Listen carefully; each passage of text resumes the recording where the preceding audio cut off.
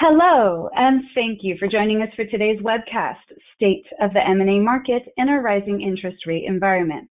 Please note that all attendees are muted and you are in chat-only mode, so as the discussion unfolds, feel free to submit your questions in the Q&A box. And now it is my pleasure to hand things off to one of CEO Coaching International's premier partners and coaches, Randy Cook. Thank you, Nylene, and welcome to CEO Coaching International's webcast, State of the M&A Market in a Rising Interest Rate Environment. This is an exciting topic for me as I've seen both life-changing events and also big disappointments in the M&A process.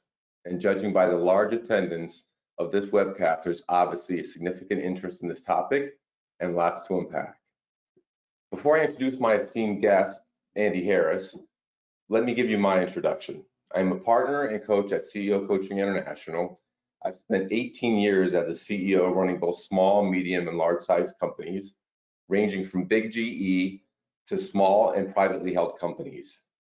Over the course of those 18 years, I've participated in 12 M&A transactions, both on the buy and the sell side.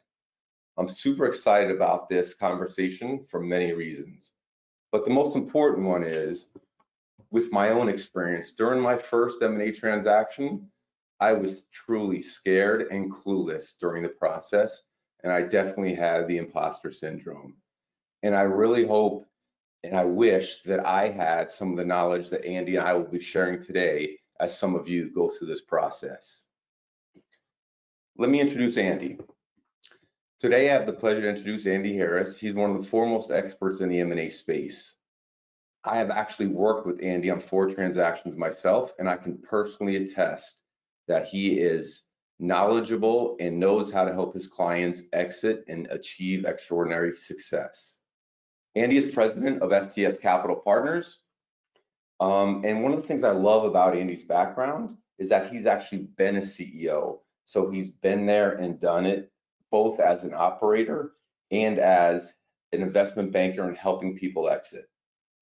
Within his career at uh, STS, he has helped over 30 M&A transactions, ranging from valuations of 20 million to up to 670 million, with a total valuation of 1.5 billion dollars in exit. More importantly, and I think we'll dive into this later, is that Andy's been able to find additional value of 40 to 100% over the original financial buyer business case and Andy will unpack that later. Andy, welcome aboard. Hi, Randy. Hi, everyone. Uh, very pleased to be here. Before we jump into this, let me set the stage on what we'll be covering today. First of all, Andy will provide a state of the M&A in today's environment. We will then go into what's a general overview of the M&A process, and then we will directly address the following questions. What's the right time to sell? What's the difference between a strategic buyer and a financial buyer? What are some of the common mistakes that CEOs make? And what are some M&A best practices that every exec should consider? In the last 15 minutes, we'll do Q&A addressing some of your specific questions. Andy, let's jump right into this. Can you please start with what's the state of the M&A market today? Sure. Well, um, it's there's a big a big change has happened within the last uh, starting in the, the end of last year and, and into this year. And it really magnifies the difference be between um, a financial buyer and a strategic buyer. The big change has been interest rates and also the amount of credit that's available. I think we all know interest rates have have come up significantly and the fed just uh, increased rates again yesterday. Um, and just as an example of that, um, a year ago, uh, if you were taking on debt to help um, do an acquisition, and this would mainly be for for financial buyers, uh, you would be able to get maybe up to six times the EBITDA of the business in leverage. You could get six times debt. Uh, today, that number is probably three to three and a half. So about half the amount of debt is available and then also the interest rate on that debt has changed. Um, interest rates typically are um, the, the SOFR rate, SOFR, rate plus probably five to 600 basis points. And right now that would put interest rates at around 11 to 12%. Whereas a year ago it was, you know, four to 5%. So not only has the amount of credit available been halved, the interest rate on that that debt is about double.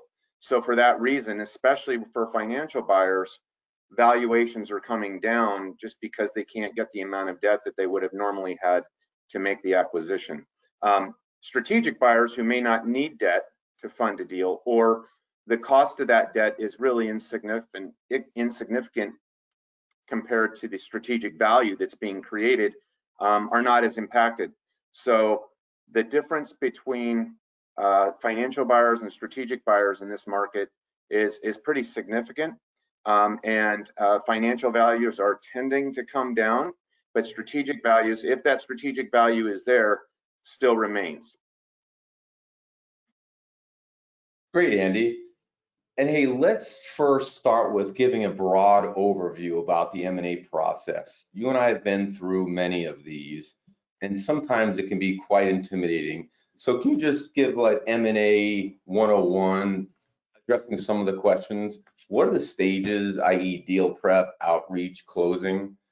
Um, in general, how are valuations determined and how long does a typical process take? If you can just give an overall 101 there, and then you okay. and I will dive deeper shortly.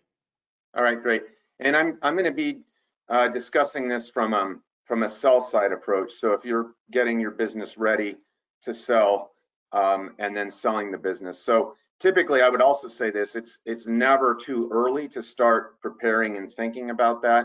And there's a lot of things that you can do early that then when you are ready to go to market, it's just going to make the whole process that much simpler. Uh, and there's an extensive checklist. I won't get into those details now, but there are there. It's the main point there is it's never too early, to start thinking about it and design the business with an exit in mind. Even if you're not going to exit, I think it's a best practice to do that. Um, a typical process uh, can take between six to nine months from the time you say we're going to market um, and there's a couple different stages. There's prepping to go to market. There's pulling all your all your information together that a buyer is going to want to look at in due diligence and having that prepared. There's pulling together the marketing materials on on the company, um, and that would typically be a, a teaser, which is going to just it's a one or two page overview of the company. Um, on a no name basis, it's usually given a um, a, a, project name, Project Blue Sky, and here's the characteristics of the business. It's enough for a buyer to maybe say, I, I'm, I'm interested, I'd like to learn more. Um, and then once you get that buyer to, to say, I'm interested, I'd like to get learn more, you get them under NDA, and then you give what's what would be called the, the confidential information memorandum, which is a comprehensive presentation or deck on the company. And, um, and that's enough to really give a buyer a really good feel for the business uh, and then start due diligence. Then you go into a due diligence process, get offers. Um, typically, there's um, two rounds of offers. There's initial offers, and that's just to kind of get a feel for where where the the process is going to be and and and who are the buyers you'd like to select to work with, um, and narrow that down typically to a, a, smaller subset of buyers from the the best IOIs and the best buyer fits. And then they go into deeper due diligence. Then you go into a, a, a get a letter of intent, LOI, and then and in that process, uh, typically it becomes very competitive, and that's when um, we like to see an auction run and, and, a very competitive auction, and typically those offers move up there, um, and then you get the final LOIs, and you pick the buyer that you'd like to go with with that LOI, um, and and then finalize due diligence with them, and that's typically uh, and that's also negotiating the purchase agreement and then closing. So there's really kind of three stages. There's the prep, get ready, um, pull your marketing materials together, then you go to market, you're in market, get up, get offers, competitive auction, get those up to what uh, uh, the best offer is and the best fit is, and identify that that that best buyer and then close with them. So there, that's the kind of three stages of a process as, as we see it. Yeah, Andy, and as I think of it, and you and I are actually going uh, through a transaction with one of my clients right now. So going back to the stages, there's deal prep and there's outreach. So if you look at a funnel, right, You Mhm. reach out to a large number, some strategic, some financial.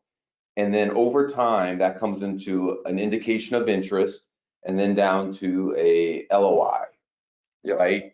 And then, so at the very end of that funnel, right, is where you start ideally getting multiple bidders involved. Question for you, when I first went through this, I was a little bit scared, wondering, do other entities know that I am going up for sale? Can you talk a little bit about that? If I'm about to sell my business, who knows that? Is it broadly known or is it somehow anonymous and how do you take care of that? Right. Well, yeah, confidentiality is a main concern of, of most buyers and actually, or I mean, of most sellers and actually buyers are concerned about it too.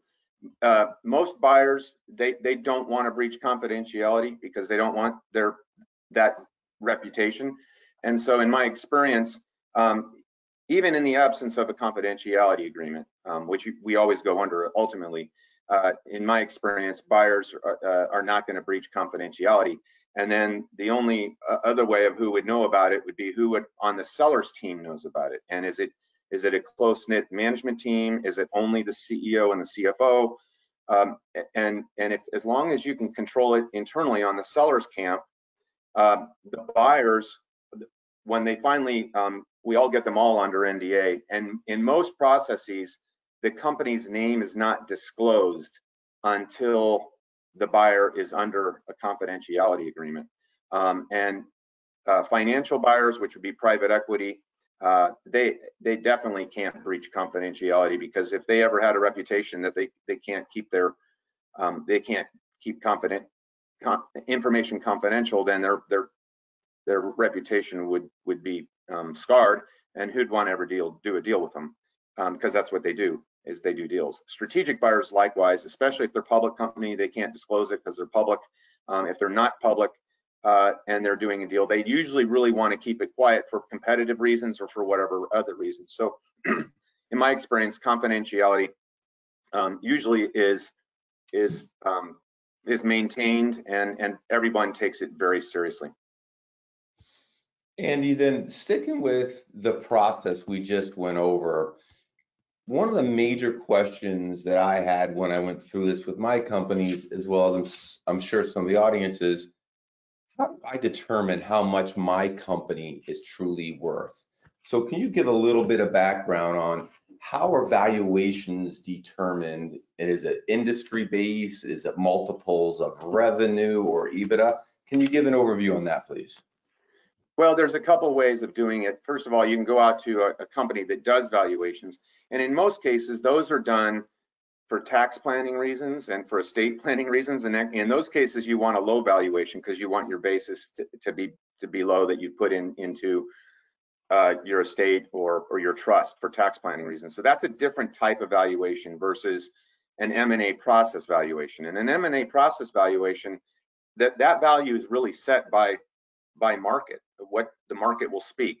And that's really where there, there's the differences between a financial buyer valuation and those valuations usually are, I mean, it, it, all goes back to a model of discounted cash flow and, and all of that. But typically it all boils down to, to multiples, right? And it's either a multiple of EBITDA or a multiple of revenue. And it, that's going to vary by industry because by industry margins are vary, right? Um, and then also by the characteristic of, of that company's um, their business, their revenue. Is it project based, where they're always having to hunt for their next customer and their next um, their next revenue, their next contract, their next um, their next deal, or is it recurring based? And if you have a business that has contracted monthly, month over month over month revenue subscription based and your high margins obviously you know it's kind of like a cash uh, printing cash machine at high margins that business is going to get much higher multiples of revenue and multiples of ebitda versus a um, let's say a brick and mortar uh, more manufacturing business where you're man, you, you're manufacturing something and you sell it kind of one time and then you've got to go out and find another customer to buy buy it and, and you, you may have thousands of customers but they're all they all tend to be one-time sales or maybe a couple times sales or even if you're manufacturing that some somebody's buying from you all the time, let's say it's it's chemicals, but the margins on those chemicals can go up and down. So there's supply chain risk, and you may have customers that continually are buying from you, but their volumes may change, may fluctuate, their demands may fluctuate. That that's not really seen as contracted recurring subscription type revenue. So the, that type of a business is going to get a lower multiple um, versus uh, the the recurring revenue business. And and as an example of that, um, you know, I think in there's a there's a service that that we subscribe to, and and many um, investment professionals subscribe to called PitchBook, and PitchBook monitors all deals across the world. Um, and I, I, just looked at a refresh on the data recently. Take a, an IT software company that has a subscription-based SaaS model, uh, software um, or license type model, and those those mul multiples can be two and a half to maybe three or four times revenue, uh, 12 times uh, above on EBITDA. That versus a materials-based kind of manufacturing company, those multiples now, uh, they were at maybe 10, 10-ish uh, a year or so ago. They now come down into the seven or eight range on, on EBITDA and maybe one to one and a half times revenue. So that just helps to, to give a contrast between those two different types of, of businesses and also those, those industries. And then the final function is also, um, I think, just simply supply and demand. Is there an industry that there's a lot of buyers going after, or one where it may not have as many buyers going after it, and then it's it's it's then it's a matter of competition. And obviously, the more buyers, uh, the more competitive the process would be, and typically the higher the values would be. Yeah, and then as relates to the, let's unpack that a little bit more, Andy. And you and I have done quite a few of these together. But one thing I want the audience to know is when you engage with a client to help them exit on the sell side, you will know, they'll have your expertise to say, listen, you're in the software business, you might be at 15 to 20 uh, X EBITDA. Or if you're on the contract manufacturing side, you might be in the five to seven range. You'll be able to guide them on what that starts like, but yes. then which is great. It's great to have those benchmarks, but then explain a little bit more about the financial buyer versus the strategic buyer as you go through that process. Right. Well, typically the market values that are that are discussed are financial market values. So six to eight times EBITDA or 10 to 12 times EBITDA. That's what a financial buyer and what the, the typical market value in a, in a given industry would be, as an example. Then there's what's also called strategic value. And strategic value is financial value plus other value that's being created by the combination. And that strategic value can be significant. And I'm not just talking typical synergies where it's like, oh, we're combining two businesses. We don't need two CEOs. We don't need two CFOs. We're, we're saving some costs there. The strategic value is where, um, let's say one of the companies has technology that the other one desperately needs. So it's going to transform that one if they were to have the access to that technology. And then let's say the, the other company that needs the technology has some market access or customer access that the one that has the technology doesn't yet have. So now you can say, all right, both companies can be transformed by this combination. And it's really a growth um, uh, strategic value, right? Uh, and maybe some cost strategic value as well. But when you when one plus one equals four or five, that strategic value is well above the traditional financial market value. And and so what what we have done, and you mentioned it earlier, Randy, was that um, that strategic premium can be 30, 40, 50, 100% over over market value. So someone might say, wow, I, if I could get six to eight times EBITDA for my business, I'd be, I'd be thrilled. You go out to market, that's what typical private equity and financial buyers and even the strategics are going to come in at because they know what market value is. But then as you run that process and you work the model and, and you work that model for the strategic buyers, and what could this really become? What is the integrated strategic value? And you might find out, wow, they this is worth twice that to the buyer, right? If when we come together, magic happens, um, and the buyer they'll, they'll never tell you this, but they're willing to pay twice that. And as you run the process in the right way, you can end up getting twice that. And guess what? In that case, the strategic buyer doesn't doesn't walk away saying, "Wow, we just we just got taken advantage of." They're still thrilled because it was worth that to them, and the seller's thrilled because they got twice the value. And in many times, you can find um, a great home, right, where um, a lot of there's a fallacy I think many times that people think if I sell to a strategic, they're going to decimate my company and decimate my team, and and that's not necessarily the case. Sometimes the strategic and, and in the best in a really great situation, you find the strategic that desperately needs your company and needs your people, and because it's something that they don't have or they're not. Um, and when you can find that, that's also when you get maximum value, and you also get the other outcomes that your team's going found a great home uh, and is going to be well taken care of. And there's a just this really great strategic fit, kind of a match made in heaven. So Andy, let's take what you just said and let's you and I apply it to a transaction that you and I participated in, just to give everyone audience about how these real numbers work and the difference between a financial and strategic buyer. So when you and I went out on this process, and we're obviously going to keep it anonymous, right? we had large interest. We had a number of financial and strategic buyers come in. We got it down to three total. And just to share with everyone, this was an industry uh, that had a 5x multiple of EBITDA. That was the normal range we were at. And so we had a LOI on the table, and let's use the numbers of, let's say they were doing 10 million in EBITDA. So they had an LOI on the table for the financial buyer, i.e. private equity, of $50 million. In our case, you were able to find a couple strategics out there, and we actually got 7x the multiple because of the strategic nature of that. So the ability to move it from a financial to a strategic buyer netted our client an extra $20 million. Can you add a little bit more color to that example? as it relates to the strategic and financial buyer? Yeah, sure. So first of all, um, it's it's identifying the buyer universe to begin with, right? And so um, we uh, we identify the outreach list that we're going to reach out to, and in this case, we knew the the private equity firms that were very interested in this space had either had companies in the space or had done deals in the space in the past, and then we identified strategics that were in the space. And then we also look at what are adjacencies.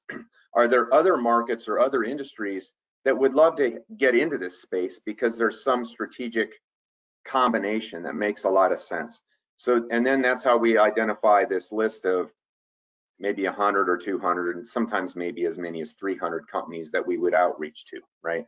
And so you, you, you broaden your strategic base, but it's not just throwing it against the wall and seeing what sticks, not sending it out to thousands, right?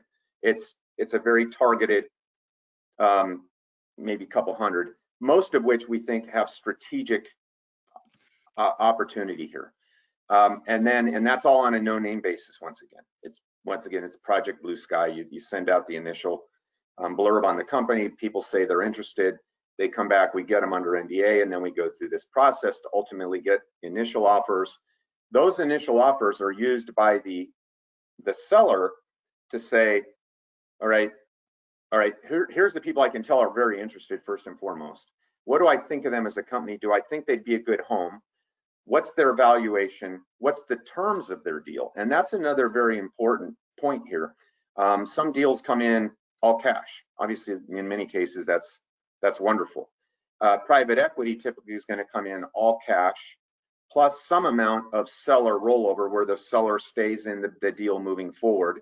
And typically that can range from 10 to 20, it's typically it's 20 to 40%, but it can maybe sometimes go lower than that and sometimes not at all. Um, but that way the seller gets to stay in the deal and get quote unquote a second bite of the, op, of, of the apple such that when private equity ultimately um, sells the company down the road, the the seller participates in that and gets some value from that again. So that's the second bite of the apple. So that's something to do with deal structure. And then the third component of deal structure sometimes would be an earnout, right? Where we're going to give you a hundred million dollars, but you're getting 50 million today. We're asking you to roll over 30 million or and and then there's another 20 million that you'll get down the road or next at the end of next year or two years if the company performs to a certain level. So that would be a an, an earnout. But deal structure is also one thing you want to you want to identify in the initial offers to find out who's who's got the cleaner deal structures or the deal structure that works best for you. Then um, you, you take the decisions from these IOIs. Who are the buyers that you want to move forward with? And you know, hopefully it's a handful or or or, or more, a little bit more. Not too many, but ones that you think will be most competitive. And and work with them to identify that strategic value. What's the real combination here? You're falling in love with them, they're falling in love with you, and it's wow, this could be a really, really great combination and great fit.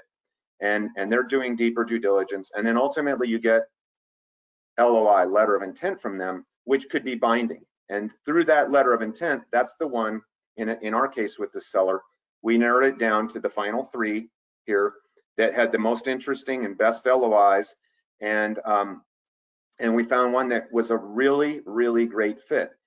The seller met the buyer. Uh, there was some personal connection there.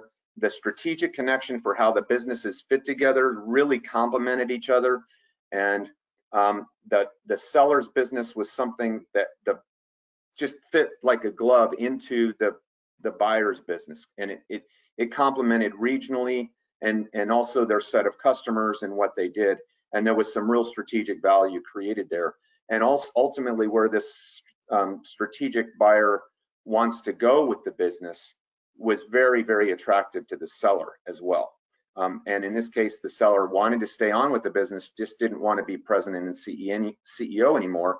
And the buyer says, "Oh, we've got a great fit for you in a different role that, that and you don't have to be president and CEO." So everybody's getting personal outcomes met, strategic outcomes met, and and really a nice strategic value outcome being met here and and it, it, just works for everyone but it takes some time to get through that working both with the mainly with the buyers to to assess and help them assess the strategic fit with uh, with the seller.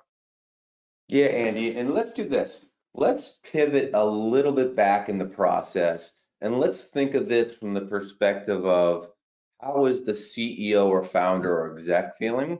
Um, before I give you the specific question, I wanted to remind the audience, if you have any questions, the last 15 minutes, we will do a dedicated Q&A, but don't wait to the end. Feel free to type your questions into the chat. We'll have a large list of them, but I wanted to make sure you knew that was available to you and don't wait to the end. Please go ahead and fill those questions to the chat right now. Hey, hey Randy, real quickly, before we jump into your question about how the seller is feeling, one thing I, it just crossed my mind um, on that deal we, that you were talking about. Kind of we is, is um, similar values, the five to the seven. In this case, I do want to make the point. Initial offers all came in in the five-ish range.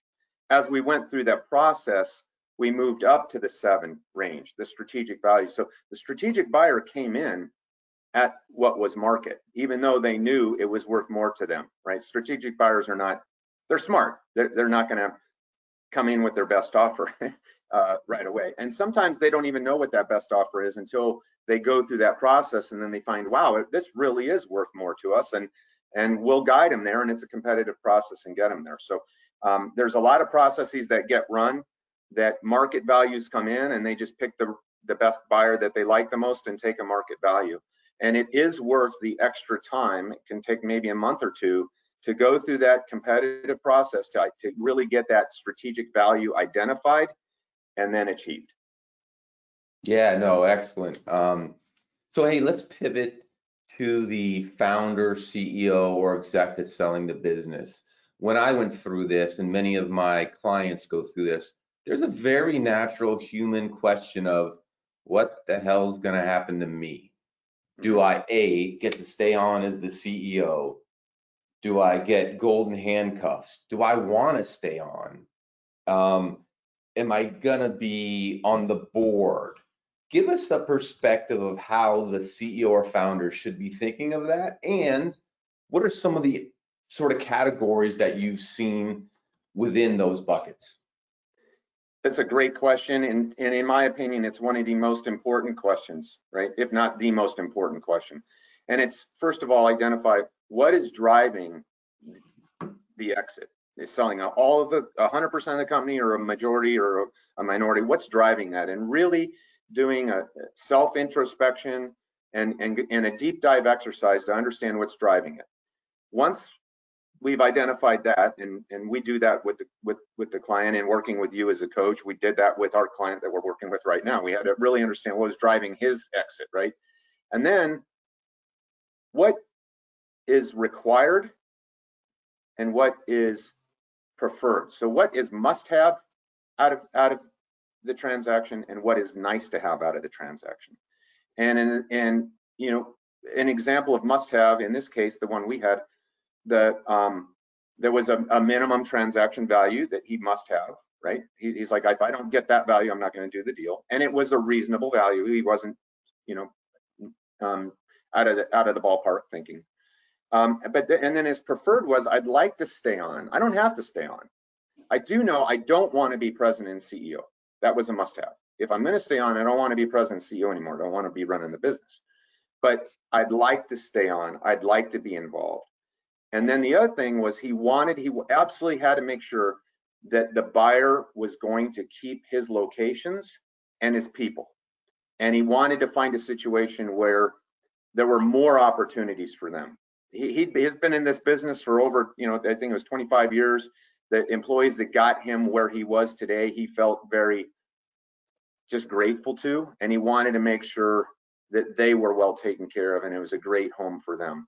So it's it's really important to identify what's driving the exit, what are the must-haves, and what are the nice-to-haves, and then continually go back to those as you go through the process. Because once you get offers that come in, they're like shiny objects, and you're like, oh, this one. And but then once you really go back to, well, remember, this is what we said you must have.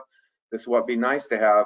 This one's not meeting that. It, it helps that decision process move uh, moving forward uh, to keep that uh, just keep the, the seller moving forward in, a, in, in what grounded to what they originally sought to achieve.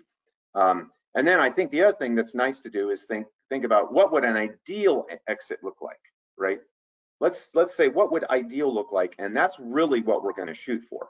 Not always get it, but if you if you balance that with this must-have, nice to have, and what was driving it all along, um, it it tends to um, it's a very intentional process then. And Andy, let's stay there talking about the founder and CEO for a bit. One of the major questions that we get is when is the right time to think about selling? Is it a revenue number? Is it a certain maturity of the business? And when do I engage with some help on that process? What's your recommendation on those questions? Well, I, I, think once again, it's never too early to start thinking about it, right? So engaging with a, a, a, coaching organization like CEO coaching that can help that's that planning process early. Maybe it's three to five to seven years out, a long time out, but but that can help. And and surely a coaching organization knows a lot of the boxes that need to be checked so that when we're starting to really get close to an exit or thinking about an exit, we've already got systems and things in place that are going to help facilitate that. Um, but ideally, I think you know if um, I've got clients that come to me right now and say, I want to exit next year. Right, that's not too late. It's fine. We can pull it together. But many times there's a few things that we'll say, well, wow, you know, but if you did this, this, and this, it's really going to improve your valuation and chances of a really great process. Sometimes those things can be done within a matter of, you know, a few months. Sometimes it might take a little longer. Um, but ideally, I think uh, start early, maybe two years in advance to, to, to at least start engaging with, with um, a sell side uh, advisor, an investment banker to get some thoughts. Um, many times people have a number in their mind, right? If I could get 50 million for my business or 150 million for my business, that's, I'm out, right? That's perfect for me. So they have to do a, a check and we would check market to, and look at valuations and say, yeah, that's realistic. Yeah, you, we think you could get 50 million plus above that because of the strategic value. So we feel very confident with that. Or we might say, wow, 50 million, you know, that's a real stretch. That's only if we find the outlier strategic, and you're more likely to probably be 30 to 40 million in that case, right? So, and then the owner may say, okay, well then I'm, I'm not ready to go. I've got to grow the business for a couple more years because I, I want that 50 million dollar number, right? So sometimes it's a number that people are shooting for. Other times it's just, I'll take whatever market will give me, right? Let the market speak. Try to get me that strategic value. It's just time, right? It's time for me to exit the business. Um, I want to take chips off the table now. Um, I want to start giving back while I, and enjoying the fruits of my labor while I'm still healthy.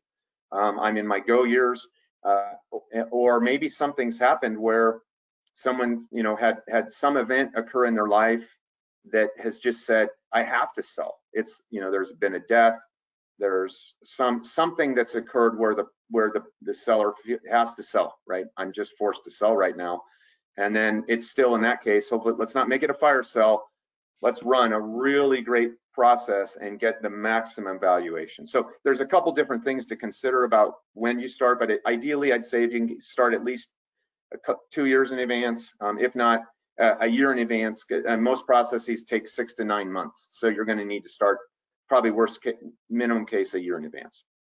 Yeah, and, and, and as an example, I introduced you to a, one of my clients and we talked through it with him and what we figured out was we were growing at a good clip right and what we figured out in that case that we had to keep growing the company and we targeted 50 million at about a 12% ebitda and that was sort of the sweet spot which was two years from now so that's the strategy we're on and that's when we're going to re-engage with you to actually start the process um, so let's stay there for a second i've made the decision I want to go forward.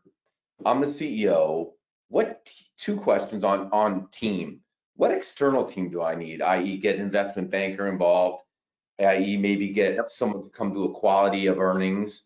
And, and what do I do internally? Do I tell some of my key people? Do I keep that um, a secret? What is your advice on that question about once I've made the decision, what's the team I need going forward? Okay. Yeah, there's two two two components there. First of all, external team. Um, uh, I, abs I absolutely advocate that it's kind of negotiation 101. If if if you're gonna if you're gonna sell your company, um, hire a sell side advisor. They will pay for themselves in in many times over, right? Uh, because the value that, that can be created and actually simplifying your life too. Um, so th their fees normally more than pay for themselves also hire, make sure your your estate plan, your tax plan, your trust is all set up. And there's things that you can do that when you sell your business for 50 million or 100 million, most all of that is going into um, vehicles that avoid tax and or they, they defer the tax down the road, right? So that's the most, it's how much money do you keep, right? And so get the advisors that help you to do that. And that's normally a, a wealth advisor, right? And I would go with a full service wealth advisor, right? Somebody that has all of that, not just here's where where you invest your money. We're going to manage your investment for you. Um, and then I would say also a coaching organization. I think that you know, something like CEO coaching or or any any a coach that can help kind of coach you to get prepared for exit, especially if it's several years in advance get some of that input. So that's the external team that I would strongly recommend um, people surround themselves with. Um, yeah, so I, I, think that answers that that question. And then the other, what was the other one that you had asked on that? Um, no, you nailed it. Um, it was about the team. It was what's the oh, team? I oh, and when do you involve the internal team? Right. So and that to me is all up, uh, uh, it's it's up to the the CEO and founder, right? If you like to keep things really close to the chest, maybe it's just you and your CFO, and you run the whole process that way. Um, there's some others that may say, you know what, I I want, and who can who who can you really trust to come into the trusted circle? And maybe you may say, you know what, I'm going to involve my CFO, my head of sales, and my head of operations, and I've been with them for a long time and I'm going to actually even give them a nice little piece of the deal when it closes. So they're they're motivated to stay with me and they're excited to help make this happen. Um, so it, it's it's individual case. Um, and I've even see, seen times where somebody tells right up, they just feel like it's the matter of their culture, their company. They tell the whole company, right? We're we're preparing for exit and and we're going to get everybody a great outcome. It, it just depends. That's pretty rare that you see that happen, but um, more often than not, it's it's CEO, CFO, and then maybe a couple other very trusted and people that add value to the process. That when you're in process, the buyer is going to want to speak to, right? And that gives the buyer great confidence that wow, there's a management team that that's running this business that is doing a really great job of it, and I'm getting a quality business and a quality team. Andy, as you reflect back on your 30 years of doing this, what are some of the biggest mistakes? What's what are some of the biggest mistakes that or misconceptions that a CEO or a founder has about the whole process? Yeah, um, it's funny. I, I, kind of anticipated you'd ask this question, so I wrote a few ideas down. Uh, and there's a really long, long list. But I would say, um, you know, how much work it takes to sell your business, it's a lot of work. And most all of the sellers that we've worked for, once the deal closed, they look back and they're just like, I, I had no idea how much work that was going to take, right? So I, it, it, does take a lot of work.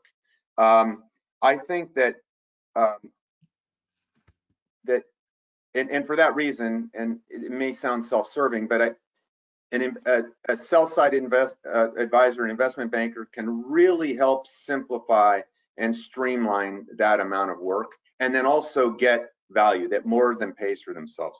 So I, I think um, that that that that is I don't know if it's a misconception, but I think it's it's really something that will will add a lot of value and just make everybody's lives simpler to get through the process.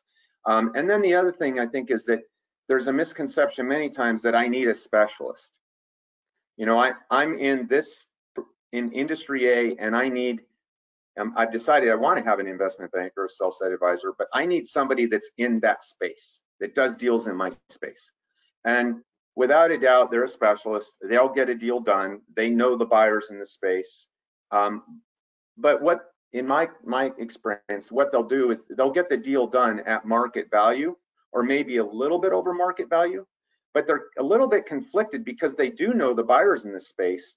It's going to be really hard for them to push those buyers to some other greater strategic value because they know them and they've actually maybe even become friends with them. Um, and it's just harder for them to do that. So I think that uh, an industry specialist can be conflicted and not 100% acting on behalf of the seller, or if they are working on behalf of the seller, they're typically going to only get the industry market value because they're the ones that help to set those market values over the years because they've been the specialist in the in the industry. So, I, um, in my experience, that's a bit of a fallacy. And there's industry agnostic firms out there that aren't specialists that, that can look at it with eyes wide open, um, look at adjacencies, not just people in the space, but look at adjacencies and, and many times get these outlier strategic values or outlier strategic valuations that an industry specialist might not be able to get because they're kind of conflicted with their relationships in in in the space. Yeah, and, and I do want to double down on what you said about um, getting an advisor or um, investment banker involved. To be honest with you, in my early days, I was a little anti-investment banker or advisor, um, but I gotta say, um, without a doubt, every time I've done it, every time, 100% of the times I've done it, I've had more success and a higher number by working with advisors. And I'll just give an example to the one I gave to the team. Um, we talked about the one where we had an offer of 50 million and then 70 million from the strategic. We actually went out before that. My client went out before that without an advisor, and the highest he could get on his own was 38 million. So just the delta there by getting an advisor on board paid for itself many times over. Yeah, I want to remind the audience here, Yeah. please go into the chat, mm-hmm. add questions. We've got a number of them coming in right now. I'm about to address some specific ones. Andy, before I give you one final question and go mm-hmm. to the Q&A, did you want to follow up on what I just said? Yeah, I, I mean, I, I don't want to come across as I'm just trying to sell and you've got to have an investment banker. I have, I have friends that sold their businesses without an investment banker, right? And they had a good result. I, I just believe that in that, in most all those cases, um, it, it, there's probably significant value that was left left on the table. But you just don't you don't know any other any any otherwise. You know any better. But if you're a good CFO, there's a lot. All of us could could sell a business very likely on our own. Um, I've seen many times the deals don't actually end up happening, or if they do, you just don't know how much money was left on the table. So, um, Andy, before we go into the specific uh, questions coming from the audience here, we've covered a lot today. If you had to give the audience three concise takeaways from today's conversation, what would those three be? Um, you know, it's never too early to start preparing. Um, surround yourself with a really good external team to get prepared for exit. Um, go through a checklist of what are the things that are really going to create the most value um, and working with a, a, coach or an investment banker to, to, do that for each individual business. And then um, I would say run a competitive process because you can really maximize value by doing that. Um, and even if you have a one-off offer, let's say you've got it in uh, a buyer today that says, send me some financials, we'll give you an LOI, we're ready to go. And you think that's the perfect buyer. Still run a process with that buyer. I call it a preemptive pro process, but where they they have to compete and put their best foot forward and sharpen their pencil in order to win the, that opportunity um, to do this preemptive. And if they they don't get there, then you're prepared to run a process, even if it's a narrow process, but it's a way of maximizing value. So I think those would be the three three main things. Okay. Start early, surround yourself with the right people, and and run a competitive process. Got it. Hey Andy, questions coming in from the webcast here. The first is if I know the industry multiple of what a financial buyer would pay, some of that's public information. How do I know what the strategic value might be? Out of the gate, you don't. And it's going to vary based on each individual strategic buyer. And it depends on what, you know, what do you bring to the strategic buyer that they need? And what do they have that you need and and will transform both businesses. And when you can find those buyers where there is transformation occurring on both businesses, that's maximum strategic value. Or maybe it's just there's a strategic buyer that if they bought your business, they could double it or triple it, right? It's, you're not going to impact them a whole lot, but just who they are and what they can do, they could double or triple your business and it, and it's just or or maybe vice versa, right? So but you don't know that until you identify those buyers and until you get into the strategic model with each individual with each each individual buyer. Perfect. Andy, next question. Um, and you might need to define it first, but a question from the audience was the whole idea of a CIM, which goes out early in the process. Mm-hmm. If I'm thinking of a, a, strategic buyer, do I need to create a, a different custom CIM for each strategic buyer. So can you first define what a CIM is and then go ahead and address that question? Okay. CIM is confidential information memorandum. It's a it's a deck or a presentation on the company. And it goes through basically everything on the company, right? It's going to talk about your supply chain, your customers on a usually on a no name basis. You would redact customer names. Um, you may give representative customer names. Let's say you have some blue chip customers. You may say, we're doing business with AT&T or Price Waterhouse or IBM or whoever. You may say that, but you're not going to identify exactly what the, the business you're doing with them. So you can you can redact and keep it um, redacted. Same with suppliers, um, your technology, your employees, your culture. It basically describes the company in every single bucket you can think of. And it gives enough detail that typically somebody studying the CIM and doing a little bit of due diligence is educated enough to be able to give an offer for the company. an initial offer. Now back to the question, do we customize it to the strategic buyer? And the answer is yes, because there's a model and 95% of the CIM is going to be the same. There may be information in the CIM that you don't want a strategic buyer to have because it's so your competitor, or if they if they you may keep some stuff out for some strategic buyers and say we're going to give you that information down the road because it's it's so sensitive. Um, or and then the other place where you would um, customize it is building out your growth model, right? If we were to fit with you, here's what our growth looks like. And, and we've also modeled in what we think would happen to your business, right? That's where you customize it. And that's where you get that strategic, that strategic value. And if you know that there's going to be um, some day one or year one or year two thing, really magic that will happen, we'll adjust that back into the current financials and say, here's what our year this year would look like if we were with you this year, right? And and that gets you to this adjusted, modeled um, revenue and EBITDA that you're going you're you're selling the business on. You're telling that story, and so we would customize the CIM um, to strategic buyers in that way. But it's going to be different based on each buyer. Great. Andy, next question that came in the process we talked about on the funnel was outreach and indication of interest and then a letter of intent. The question is the following. Once we have the letter of intent, is it binding? What happens after that with due diligence? And within that, then what kind of, once the money happens, is it a wire? How does the money work? And especially as it relates to if there's some sort of holdover? Okay. Typically, once you get LOIs, you evaluate them, and I'm, I'm assuming there's been a competitive process, but whether it's just one or you've got several, um, once you pick the one that is acceptable to you and you sign it, that's now binding, okay? And typically, you're going to go into a period of exclusivity. Could be 30 days, 60 days, 90 days, those, those kind of vary depending.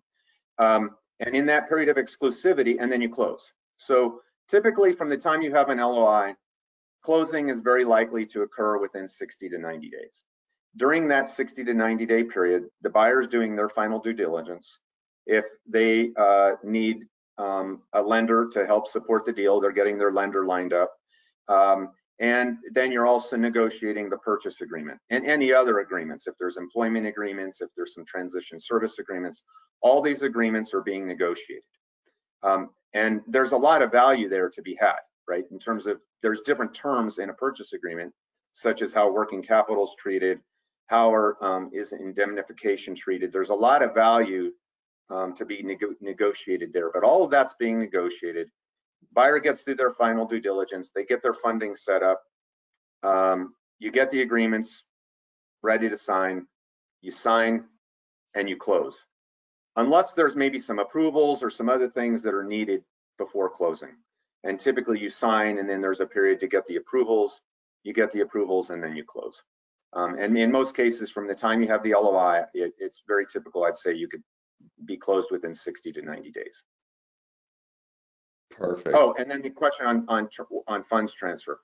So on that day, your, your business is being sold for $100 million. You will give uh, and working with the investment banker and your legal team, um, the buyer a list of where the funds are going to be distributed to. Um, there's a hundred million, and then my my lawyer's getting this much. The investment banker gets this much.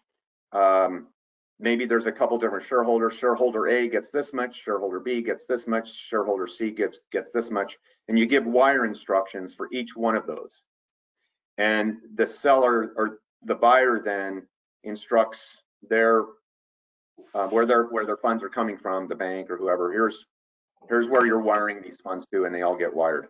Um, and then and that's got to get double and triple checked with cybersecurity issues today. It's it's all got to be double and triple checked and verbal um, uh, verbal cl verbally closing the loop the day those wires are going to make sure the wires go to the right spot. Hey, Andy, one more quick question, um, given that we're almost up on time here, and this will be our last, and we'll talk about how we follow up here. Um, question from the CEO's perspective regarding their executive team. Do I need to set up some sort of incentive for them in advance, or is that something that the actual buyer has more control of? Can you please concisely answer that in the next two minutes? Yeah, I'd say if, if you have a few key employees uh, and you want to involve them in the process, and many, many owners want to give back to their employees anyways, you can set them up with some type of a, a sales bonus structure that, you know, at, at a certain level, they get this, at a different level, get, they get that, so they're motivated to help support the process.